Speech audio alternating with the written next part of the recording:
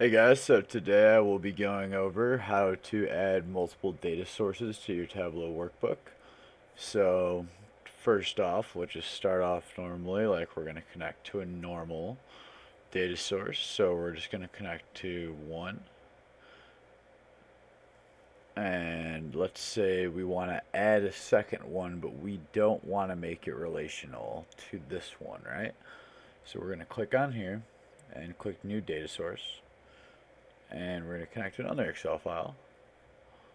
And we'll do that. So now we have two different data sources that are not related to each other that require zero joins. So we can even do it with a third. And let's say price to live in each state. I already did that one. Let's do a fourth one We'll do zip codes.